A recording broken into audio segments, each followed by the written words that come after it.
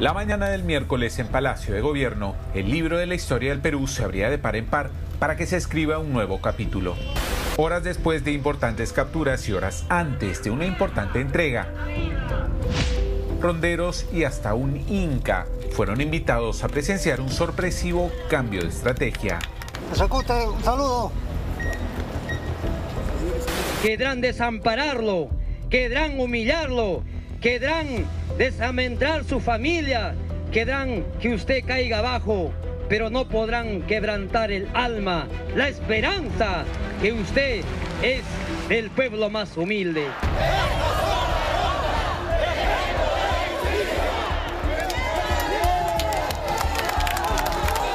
En la que es quizás su semana más convulsa, el presidente de la República, Pedro Castillo, abrió ya no solo seis carpetas de investigación en el Ministerio Público, sino sobre todo los brazos a un sector de ronderos y asociaciones, en un afán por contener la interminable ola de denuncias en su contra.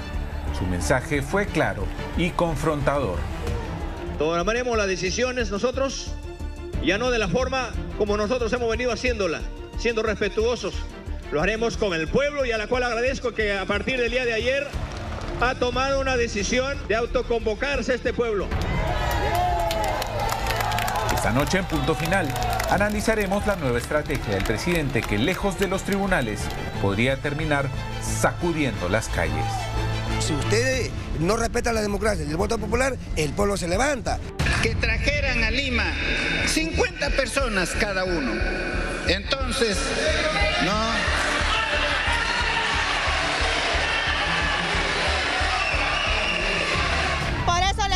esta vez que el Congreso se va a cerrar.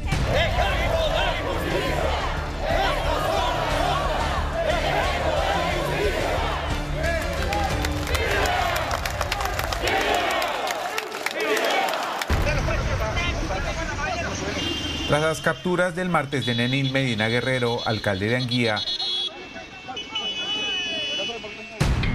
del empresario Hugo Espino Lucana y su hermana Angie Espino Lucana, el escenario de lucha fue finalmente delimitado. Todos los peruanos somos testigos de la continua puesta en marcha de un plan mediático que apunta a tomar el poder de manera ilegal e inconstitucional. Venimos buscando el diálogo desde hace más de un año. Sin embargo, hemos recibido como respuestas las acciones orientadas a la vacancia presidencial a la acusación constitucional, la inhabilitación, la suspensión y la renuncia. Al día siguiente, el miércoles, tras la reunión de Palacio entre Castillo y los ronderos, Jennifer Paredes, su cuñada, se entregaba a la justicia. Lo hacía en medio de un acalorado gentío que rechazaba a quienes, según Castillo, buscan sacarlo del poder. La confabulación entre una parte del Congreso, la Fiscalía de la Nación y un sector de la prensa para desestabilizar el orden democrático. Rechazo firmemente las afirmaciones e insinuaciones de que el Ministerio Público forma parte de un supuesto plan político. Nosotros no estamos a favor ni en contra de nadie. La guerra estaba declarada. Esa misma noche en la Casa de Gobierno un puñado de ministros se reunía con líderes de ollas comunes y de construcción civil, pescadores, artesanales y asentamientos humanos. ¿No les gusta que este gobierno lleve estos centavos para reconstruir las escuelas? para aperturar estas trochas carrozables para llegar a los centros poblados. Hoy ustedes también se han convertido en los verdaderos libertadores del Bicentenario.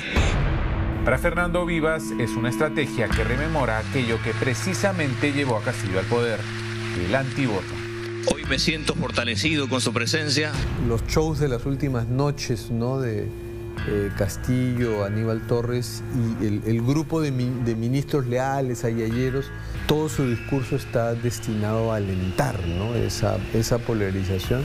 Y si es necesario, con la propia vida. Aquí estamos apelación desesperada al pueblo, ¿no? Pero el pueblo, pues, este, no solo es en términos electorales un veintitantos por ciento, no, pero de ahí viene reduciendo, reduciendo, reduciendo y la cantidad de gremios y personas que podrían movilizarse de una forma intensa en, las calles, estamos viendo en los últimos tiempos, es, muy poca. Ya escucharon al presidente, prensa basura y fiscales corruptos y cuellos blancos y congresistas golpistas. Dejen de porque después, cuando les cierre esa posilga, van a llorar. Hay un Perú que todavía no se ha incluido a, todo el país, que vive exclusión, que vive racismo, que vive postergación, y él lo que hace es soliviantar a esos sectores supuestamente con el mensaje de la victimización. ¿Con qué objetivo? Evidentemente llegar a la violencia y eso hay que denunciarlo abiertamente porque la responsabilidad de una autoridad más bien es integrar al país. Y estos plantones, compañeros, son plantones contundentes. Detrás de esa Patricia Benavides está este miserable. Este miserable que está acá. Este perro miserable. Por un lado, el abogado de Pedro Castillo, Benji Espinosa, quien renunció a la defensa por unas horas, dijo que la estrategia legal no ha cambiado. La posición de la defensa es inalterable, es idéntica, es la misma.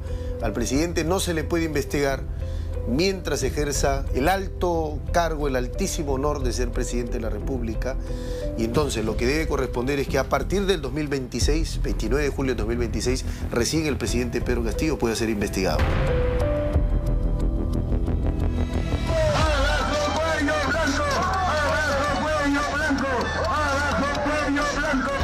Por el otro están aquellos que dentro y fuera de Palacio respaldan al presidente sea como sea.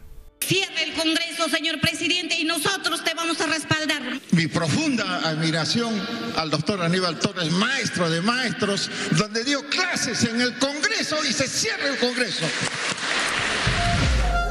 Uno de ellos es Juan Armas, a quien vemos aquí el día de la entrega de Jennifer Paredes y quien es un conocido dirigente sindical del gremio de salud que no se ahorra las proyecciones. Puede que haya una guerra civil, Simple y llanamente aquí el responsable va a ser la derecha, la ultraderecha, por mi posición y por la lucha que llevo en las calles y por todo lo que está pasando en nuestra patria, Perú, a respaldar a, la gobernadora de Pedro Castillo. Nosotros tenemos una posición bastante clara. La posición nuestra es cómo ayudamos a que la gobernabilidad y la democracia no se destruyan en el país. Entonces hay un presidente que ha sido elegido y ha ganado las elecciones y por lo tanto este presidente tiene que culminar su mandato. Un sector de las rondas campesinas acompaña a Castillo desde su candidatura. Hoy ha vuelto a echar mano de aquella protección. ¡Viva las rondas campesinas urbanas del país! Lejos de la bulla y los bocinazos, el presidente Pedro Castillo parece haber logrado poco o nada en el campo de la investigación fiscal e incluso en la opinión general.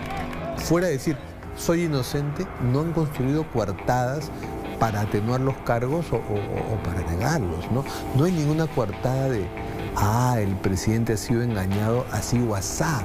Mira, cuando Alan García tuvo el, primer gran escándalo de su gobierno, que fueron los petroaudios, el propio Alan García salió a decir, esas son unas ratas, y él impuso la narrativa que el gobierno estaba siendo este, sorprendido por unas ratas. Cierto o no, en medio de una intensa crisis, en Palacio de Gobierno han empezado a alzar la voz. Bye.